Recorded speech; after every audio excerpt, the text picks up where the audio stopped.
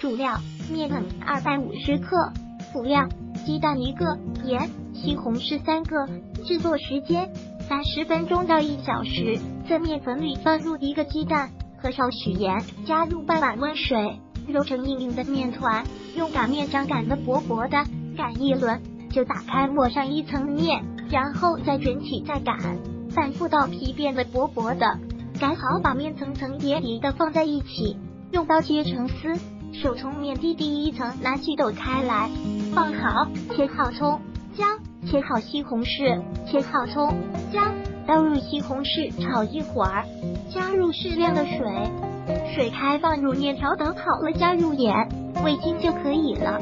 烹饪技巧：面要揉的硬一点，这样擀出来的面才好吃。